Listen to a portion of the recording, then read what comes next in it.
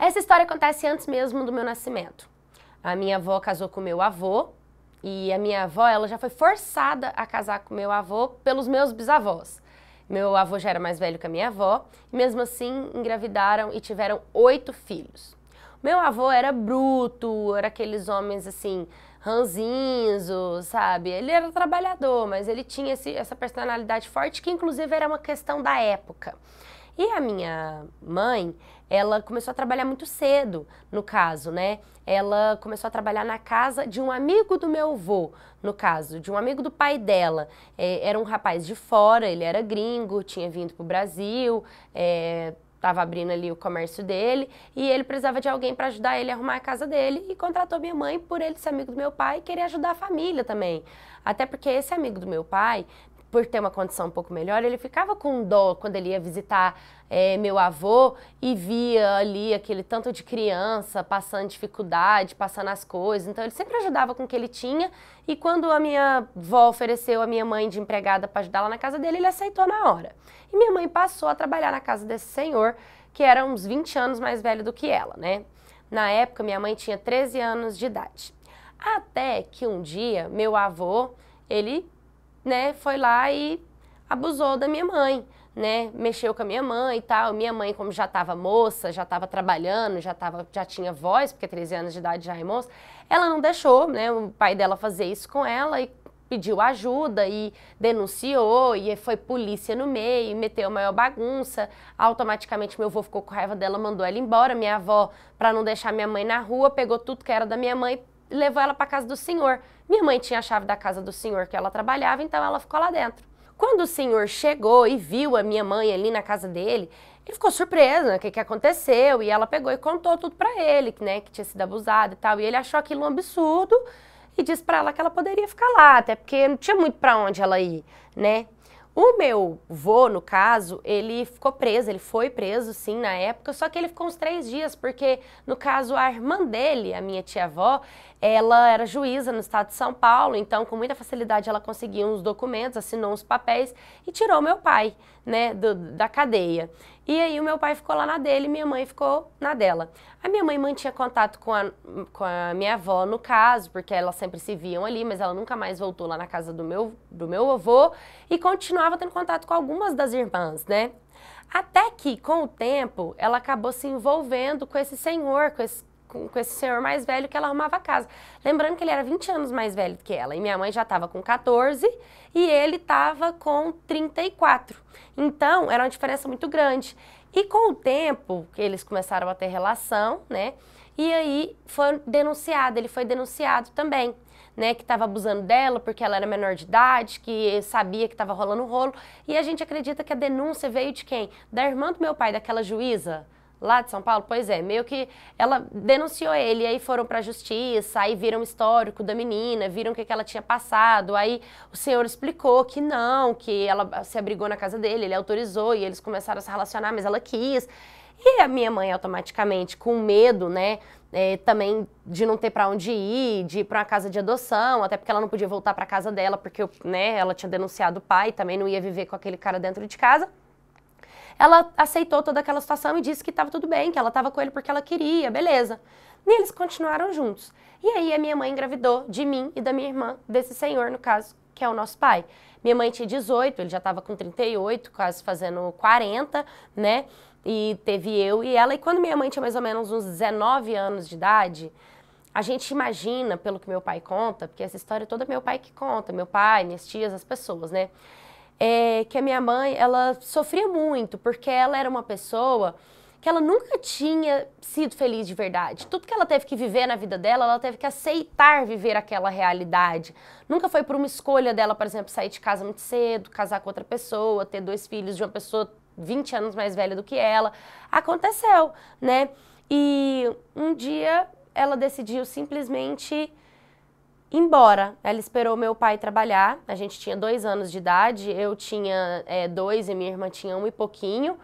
E ela decidiu pôr um feijão para cozinhar na panela de pressão. E aí ela colocou a panela de pressão e saiu. E aí saiu. Nunca mais voltou. E aí o que, que acontece?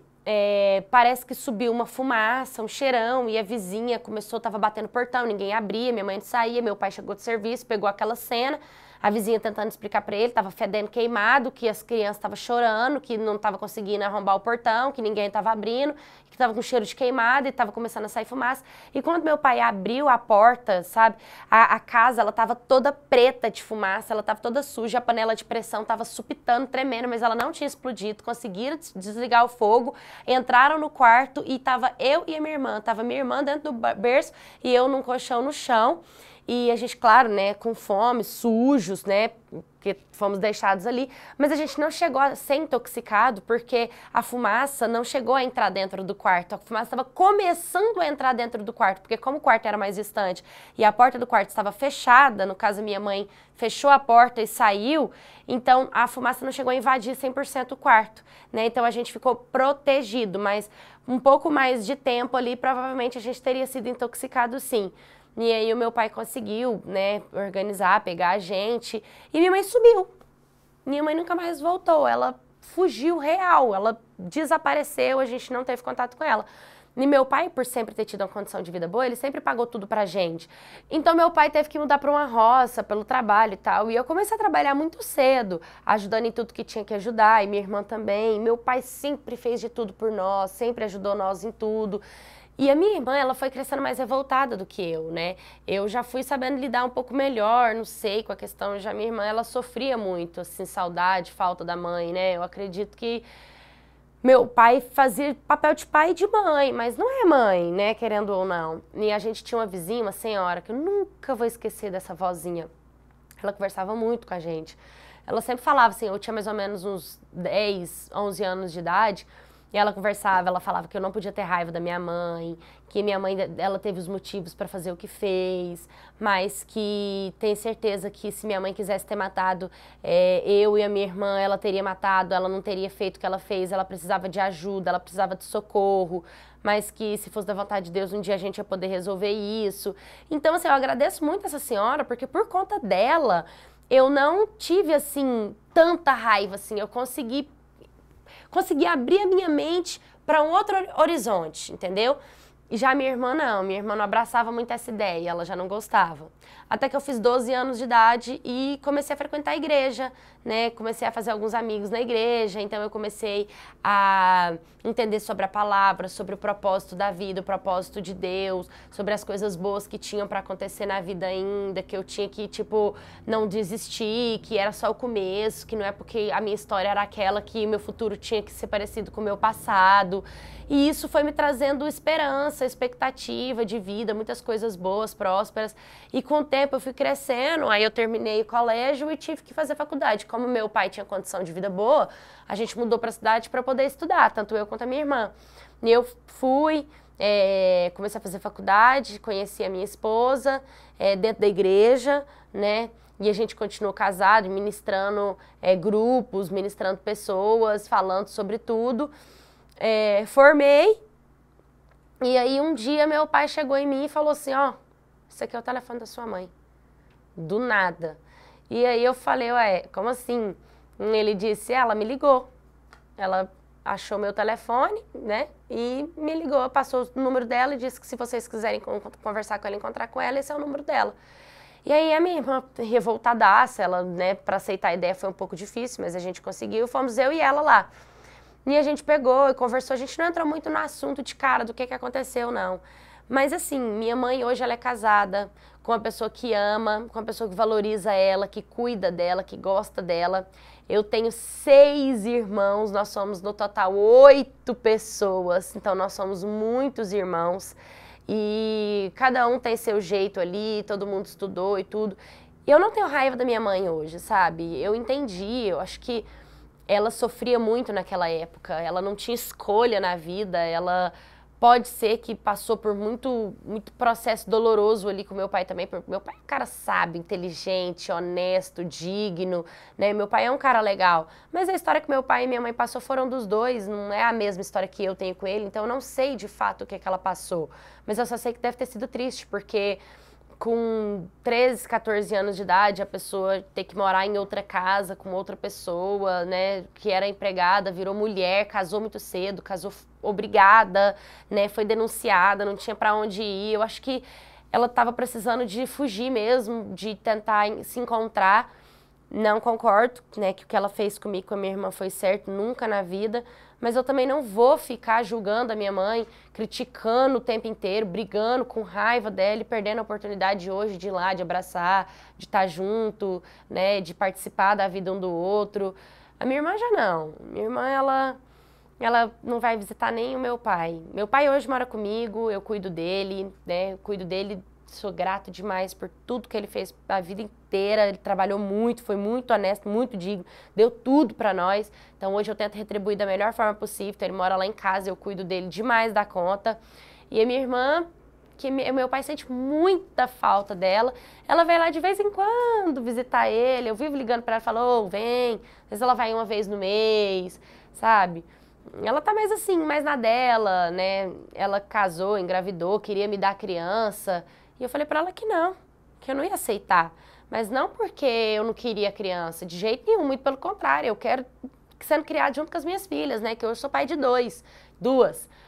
Mas eu não posso pegar o filho da minha irmã para eu cuidar, porque senão eu vou estar tá repetindo a história dela, ela tem que cuidar. E assim, ela vivia frequentando minha casa, e aí como é que ia ser, né? A criação do filho dela com nós e ela interferindo, não ficaria legal. Então, falei para ela que ela tinha que se responsabilizar pelo filho dela sim, né? Até porque senão ela ia estar tá repetindo a história e aí não ia ficar certo assim, né? A gente tem que fazer diferente do que aconteceu com a gente, ainda mais se a gente é revoltado. E isso foi um grande aprendizado para mim, né? Minha história é uma história assim dolorosa, né? Desde a minha bisavó para minha avó, para minha mãe, to, todo mundo sofreu ali. Então eu quero que as minhas filhas, que a minha, que a minha mulher, que a minha geração, a família que venha de mim, ela venha com uma proporção, com, com um equilíbrio, uma estabilidade diferente. Hoje é tudo dentro da igreja, hoje a gente agradece a Deus, a gente é cristão, a gente faz as nossas coisas certinho. Esse foi o caminho da minha felicidade que eu encontrei. E essa história é uma história de superação, é uma história de perdão, é uma história de amor, uma história de compaixão, de empatia, de entendimento, né? E não só de perdão para o próximo, como um perdão com a gente mesmo, né? E graças a Deus eu encontrei o caminho certo e fica aí de exemplo para muitas pessoas, muitos jovens, né? Ali aí você que tem 10, 11, 12 anos, 13, 14, 15, nunca é tarde. É, procura uma igreja, faz amizade com a galera da igreja, procura o grupo, você vai ver tanto que é legal, a galera te abraça, ora com você, quer desejar o bem para sua vida, quer te ver feliz, te dá um papo, ideia legal. Tem hipocrisia dentro da igreja? Tem, mas isso aí tem em qualquer lugar. Então procura que, que se o seu coração estiver vazio, dentro da igreja você pode sim encontrar luz, porque eu encontrei, eu sou exemplo disso e eu tenho muita gratidão pela família que eu construí hoje. Oi, minha tudo bem com vocês? Essa história foi um Uber, eu tava indo para um, um, condomínio aqui em São Paulo, e aí esses Uber Black que faz viagem, e aí ele me reconheceu dentro do carro e veio contando a história dele, falou que eu estava autorizada a contar aqui no canal. Espero que tenha contado certinho, pelo que eu prestei atenção nos detalhes da história, eu contei a história que eu entendi. E é uma história realmente de superação, é muito bonito ver ele hoje com a família formada, feliz, com as filhas, com todo mundo, sabendo que ele veio de, um, de uma história toda desestruturada. E fica de exemplo que não é porque a sua família veio de uma desestrutura que você precisa seguir esse caminho, você pode sair da curva, você pode sair da caixinha, você pode buscar o seu caminho é, sem ser o mesmo caminho que você veio. E tá tudo bem, na verdade tá tudo ótimo se você fizer assim. Se uma família, se você não veio de uma família estruturada, uma família estruturada venha de você. Essa é a nova frase do canal, né? E se você gostou dessa história, também tem uma história de vida, de superação para me contar, me manda no direct do meu Instagram, que eu tô lendo muitas histórias por lá. Me segue em todas as minhas redes sociais.